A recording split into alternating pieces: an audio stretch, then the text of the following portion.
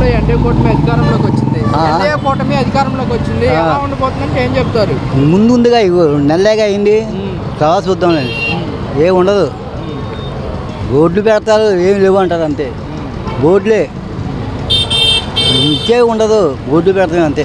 అంటే జగన్మోహన్ రెడ్డి గారు ఏమన్నారంటే మా కార్యకర్త పైన దాడులు చేస్తున్నారు హత్యలు చేస్తున్నారు. వైసీపీ వాళ్ళు ఊర్లో వదిలిపెట్టి కూడా వెళ్ళాల్సిన పరిస్థితి కనపడుతుంది అంటున్నారు ఇందులో నిజం ఉందంటారా? ఖచ్చితంగా నిజం ఉంది. నిజం ఉండబట్టే కదా. కాకపోతే కొన్ని పత్రికలు తప్పుగా రాస్తాయి.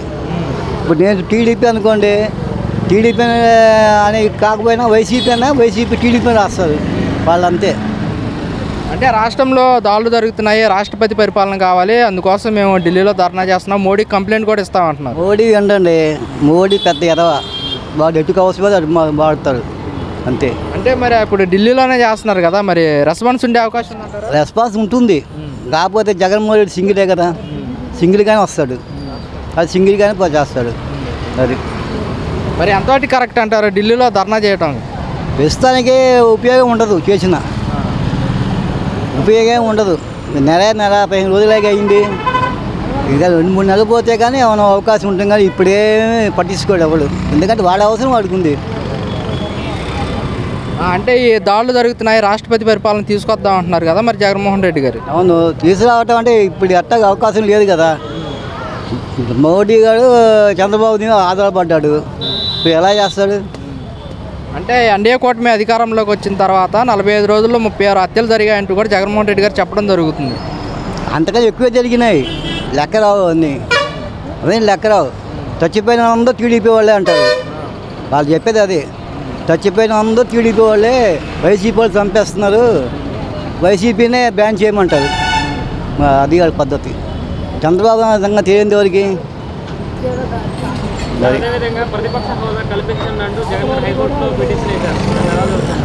ఇవ్వటిని కూడా ఇవ్వరు. ఇవ్వకపోయినా పర్లేదు. ఇవ్వకపోయినా పర్లేదు. వాడు ఎప్పుడైనా సింగిల్గానే వస్తాడు నలభై శాతం ఓట్లు ఉన్నాయంటే వాడు కింగేగా? మరి ఇంకేం బాధ? ఒక ఐదు సంవత్సరాలు వచ్చుకుంటే వాడే వస్తాడు మళ్ళీ. అదేవిధంగా స్పీకర్ కూడా లేఖ రాశారు జగన్మోహన్ రెడ్డి గారు. స్పీకరు వాడు. వాడు ఎదవ వాడు స్పీకరు వాడు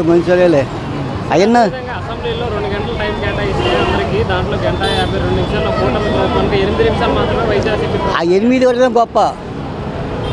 అసలు ఎనిమిది నిమిషాలు ఇవ్వడమే గొప్ప. ఏం మాట్లాడిస్తారు? మాట్లాడినవారు కదా. అది అంతా ఎదవ. ఈ ఎద ప్రభుత్వం మనం బలాయించాల్సిందే బోర్డులు పెట్టారు కోట్ల ముందు. అది అడగండి బియ్యం ఉన్నాయంటే ఉన్నాయంటారా లేవు అంటారు. బోర్డులు ఉన్నాయి బియ్యం ఉండవు. అది. సార్ మరి అదే విధంగా ఆంధ్రప్రదేశ్కి కేంద్ర ప్రభుత్వం అయితే బడ్జెట్ని అయితే ప్రవేశపెట్టింది. దీనిపైన మీ అభిప్రాయం? బడ్జెట్ మనకేమి ఇచ్చింది? అప్పేకి ఇచ్చింది. మనకి ఇచ్చింది అప్పేగా అదేం లేదు. బీహార్కి ఇచ్చింది కదా యాభై వేలు. మరి మనకేమి ఇచ్చి యాభై వేల కోట్లు వాళ్ళకి ఇచ్చింది. మనకేమి ఇచ్చింది? పదిహేను వేలు అప్పు ఇచ్చింది. అంటే టీడీపీ వాళ్ళు ఏమంటున్నారంటే అప్పు కాదు మనకి ఇచ్చింది అని చెప్పేసి కూడా మాట చెప్తున్నదిగా పక్కన. నిర్మలా సీతారామన్ చెప్తుంది అప్పు ఇచ్చామని. ఇంకేం చెప్పేది? ప్రత్యేకంగా చెప్తుంది అప్పు ఇచ్చాం అప్పు ఇచ్చామని చూపిస్తూనే ఉంది. ఇంకేంది? మరి అభివృద్ధి జరిగే అవకాశం ఉందంటారా? ఏం లేదు. ఏం ఉండదండి. ఆ అభివృద్ధి అనేది ఏం ఉండదు. ఇది వరకు రోడ్లు వేసాడు. ఆ రోడ్లు కూడా ఉండవు ఇప్పుడు. అప్పుడే రోడ్లు వేసాడు చంద్రబాబు నాయుడు. ఓ అభివృద్ధి అభివృద్ధి అన్నాడు. ఇప్పుడు రోడ్డు మీద పాకాల్సిందే ఏం ఉండదు. అభివృద్ధి ఏమి ఉండదు ఇంకే చంద్రబాబు జగన్ మీద అయిపోయింది. మళ్ళీ జగన్ రావాల్సింది ఏదైనా కావాలంటే. అంటే వైసీపీ హయాంలోనే రోడ్లు వేయలేదు దెబ్బతిన్నాయంటూ కూడా మాట్లాడుతున్నారు కదా మరి. అంటే రోడ్లు పాడై రోడ్లు వేసింది ఎప్పుడు? ఇన్నాళ్ళ నుంచో ఉన్నాయి. వాములు వరదలు బజ్జి జనాభా పెరిగిపోయారు కదా. రోడ్లు పాడవుతుంటాయి వేస్తుంటాయి పాడైపోతుంటాయి. అచ్చంగా పాడైపోయింది ఈ రోడ్డు బాగలేదా? ఇంకో పది రోజులు ఆగాండి పాడైపోయి ఉంటుంది? దానికి ఏం చేస్తాడు? ఎవడైనా అంతే. చంద్రబాబు నాయుడు అయినా అంతే జగన్ అయినా అంతే. ఏం చేయగలరు అంటే మూడు పార్టీలు కలిసి పోటీ చేశాం కదా మంచి అభివృద్ధి పరిపాలన అందిస్తామంటున్నారు. మూడు పార్టీల బీజేపీకే ఉంటుంది. వాళ్ళు అంతకుముందు చేశారుగా పద్నాలుగు పంతొమ్మిదిలో ఏం చేశారు? పద్నాలుగు నుంచి పంతొమ్మిది దాకా చేశారు. అప్పుడు ఉన్నారుగా అప్పుడు ఆడియా కొట్టారు. బీజేపీ వాళ్ళు ఉన్నారుగా అప్పుడు. చెప్పి చేశారా బీజేపీ వాళ్ళకి? బీజేపీ వాళ్ళని చూసి ఊరుకున్నారు. ఏం చేయగలరు? చంద్రబాబు నాయుడు ఉండగా ఎవరు ఏం చేయలేరు. అంటే మరి చంద్రబాబు నాయుడు గారు వాళ్ళు అంటున్నారు రెండు సంవత్సరాల్లో అమరావతి పూర్తి చేస్తామని కూడా చెప్తున్నారు. దీనిపై మీ అది అమరావతి ఆడ అమ్ముకుంటానికి జనాల్ని అది రియల్ ఎస్టేట్ చేసి అమ్ముకుంటాను తప్ప వాడేం ఏం చేయడు సాబు. అదేం ఉట్టి మా వాడే చెప్తున్నాడు కదండి అయ్యేది కష్టం అని పోలవరం కానీ అది కానీ అయ్యేది కష్టం ఇప్పుడు ఎప్పుడూ అవ్వదు. అని వాడు చెప్పేది మాటేగా. కొత్త వాళ్ళకి చెప్పేది కాదుగా. నా కళ అమరావతిని పూర్తి చేయటమే నా కళ అంటున్నారు కదా. వాడి కళ కలగానే ఉంటుంది. భ్రమే అది. అది అమరావతి కింద లెక్కేసుకోవటం అమరావతి గురించి కూడా కాదు. అమరావతిని అడగటం మీరు చూస్తూనే ఉంటారు కదా ఏమాత్రం జరిగింది అక్కడ? ఇప్పుడు వెళ్ళాడు నలభై రోజు రెండు నిమిషాలు తిరిగాడు ఏం చేస్తాడు? అదేమంటే జగన్మోహన్ రెడ్డి గారి వల్ల నాశనం అయిపోయింది అంటారు. వచ్చే పరిశ్రమని పోయినాయి అంటాడు. ఎన్ని వచ్చినా ఎన్ని పోయినా మాకు తెలుసు. సార్ పోలవరం ప్రాజెక్టు మా ఆయామం మా ఆయాంలోనే డెబ్బై నాలుగు శాతం పూర్తి చేసాము. వైసీపీలో నాలుగు శాతం కూడా పూర్తి చేయలేదని చెప్తున్నారు. అది పోలవరం అక్కడ వరకు చేసింది. మనకి ఇక్కడ చూడలేం కదా. కాకపోతే చేశాడు. వాడు చేసి తప్పు వల్లే కదా పోలవరం ఆగింది. చంద్రబాబు నాయుడు చేసి తప్పు వల్లే కదా ఆగింది. ప్రతిపడ్డాము రోజు కట్టమని ముందు ఏది కట్టాలో ఏది కట్టకూడదు ఏది కాడికి సార్ జగన్మోహన్ రెడ్డి గారు అంటున్నారు మేము ఇన్ని సంక్షేమ పథకాలు అందించాము మా పైన వ్యతిరేకత లేదంటున్నారు. కానీ వైసీపీ పార్టీ ఎందుకు ఓడిపోయిందంటే మీరేం చెప్తారు? గ్రామ్లింగ్. గ్యాంబ్లింగ్ అంతా ఓడిపోవటమే లేదు. ఫార్టీ పర్సెంట్ వీటికి అవపడుతుంది కదా మెజార్టీ ఇంకేంది ఓడిపోయేది ఏంది? గ్యాంబ్లింగ్ అంతా. ఏం ఇచ్చేసిన గ్యాంబ్లింగ్ ఏం ఏం లేదు. ఇప్పుడు ఇక్కడ ఎక్కడ చూసుకుందాం.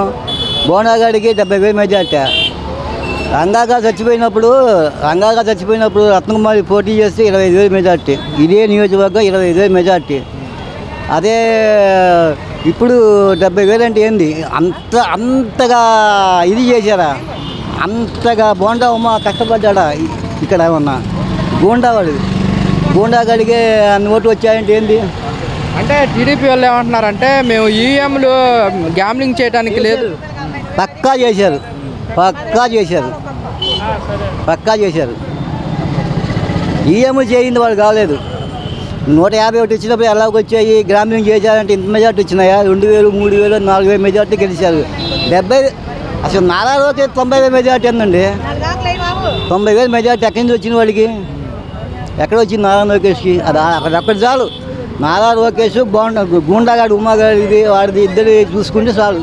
ఎంత మెజార్టీ అనేది. అంటే వైసీపీ ప్రభుత్వం మీద ప్రజల్లో వ్యతిరేకత వల్లే మాకు పట్టం కట్టారు అంటున్నారు కదా. ఎవరిని ఇండివిజువల్గా ఎవరిని అడిగినా కానీ ఎవరు మాకు వ్యత్యాసం ఉంది అంటలేగా మీరు ఎంతమంది అడుగుంటారు ఎవరిని చెప్పారా ఇండివిజువల్గా మాకు ఇది ఉంది మాకు వ్యత్యాసం ఉందని. ఏ ఏ పథకాలన్నీ పొందారు? పథకాలను పొందిన ఉంది ఇలా అన్ని గట్టి మాట. అంటే కాదండి ప్రజలు ఇప్పుడు కూటమి ప్రభుత్వం ఎక్కువ పథకాలు ఇవ్వడం వల్ల మొగ్గు చూపారంటారా? ఆ పబ్లిసిటీ. ఇవాళ చూసాం బోర్డులు పెట్టారు. రెండు రోజులు అడగండి బియ్యం ఉన్నాయా అడగండి లేవు అంటారు. బియ్యం ఉన్నాయా అంటే లేవు అంటారు. కందిపప్పు ఉంది లేవు అంటారు. వాళ్ళు బ్లాక్ అని వాళ్ళు వాళ్ళు అమ్ముకుంటారు. అది ఏ ఉండదు చేసిందే కదా. నాకు అరవై ఏళ్ళు. నేను చూస్తూనే ఉన్నా చంద్రబాబు నాయుడు ప్రభుత్వం ఏందని. మాకు తెలుసు. Okay sir